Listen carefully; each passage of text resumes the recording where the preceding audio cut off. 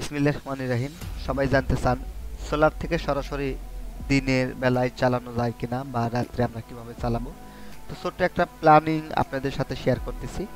অনেকেই অটো ভ্যানের পুরাতন ব্যাটারি ব্যবহার করতে চান, তাই আমরা আজকে তিনটি ব্যাটারি সংযুক্ত করে দেখাবো, তিনটি প্যানেলের সঙ্গে। আপনি চাইলে একটি প্যানেল এবং একটি ব্যাটারি দিয়েও করতে পারেন, অথবা একাধিক প্যানেলও ব্যবহার করতে পারেন, সমস্যা নাই। আমাদের এখন যেগুলো প্যানেল দেখছেন, এগুলো মোনো প্যানেল তিনটি একশো ওয়ার্ডের প্যানেল অর্থাৎ টোটালে তিনশো ওয়ার্ড প্যানেল আছে। এগুলো আমরা প্যারেলালে সংযোগ করে নিচ্ছি।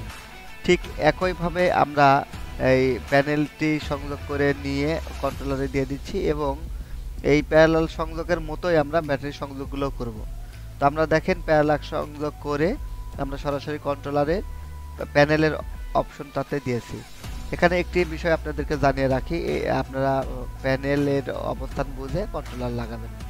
তো আমরা এটা তিরিশ অ্যাম্পিয়ারের কন্ট্রোলার ইউজ করছি। এবার আমরা ব্যাটারিটা সংযোগ করব। এই ব্যাটারিগুলো সাধারণত পঁয়তাল্লিশ থেকে পঞ্চাশ অ্যাম্পিয়ার হয়ে থাকে। অটো ভ্যানের পাউডার ব্যাটারি নব্বই, একশো বিশ, দেড়শো লেখা থাকলেও সাধারণত এগুলো পঁয়তাল্লিশ থেকে পঞ্চাশ অ্যাম্পিয়ার থাকে। তো আমরা এই তো ব্যাটারির পজিটিভ টার্মিনাল কন্ট্রোলারের পজিটিভে দিয়েছি এবং নেগেটিভ টার্মিনালটা ব্যাটারির নেগেটিভ থেকে নিয়ে এসে আমরা কন্ট্রোলারে দিয়ে দেব। তো আমরা এখানে দেখেন প্যারালাল সংযোগ করছি। লালে লাল, কালো কালো, এটাকে প্যারালাল সংযোগ বলে। এভাবে সংযোগ করলে ভোল্ট ঠিক থাকবে, শুধু অ্যাম্পিয়ারটা বেড়ে যাবে। অর্থাৎ যদি আমার পঞ্চাশ অ্যাম্পিয়ারের ব্যাটারি হয়, তাহলে তিনটা মিলে এখন দেড়শো অ্যাম্পিয়ার ব্যাটারি আছে। এবং প্যানেলটা আমাদের সাধারণত দশ অ্যাম্পিয়ার করে, তো একশো ওয়ার্ডের দশ অ্যাম্পিয়ারের প্যানেলটা, তিরিশ অ্যাম্পিয়ার প্যানেল, তিনশো ওয়াট।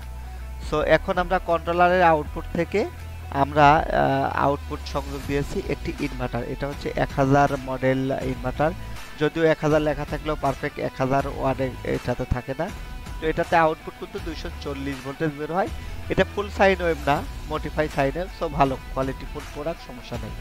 তো এই তো, এটা হচ্ছে ডিসি বারো ভোল্টের আউটপুট থেকে আমরা এখানে কন্ট্রোলার দিয়ে এসি করেছি।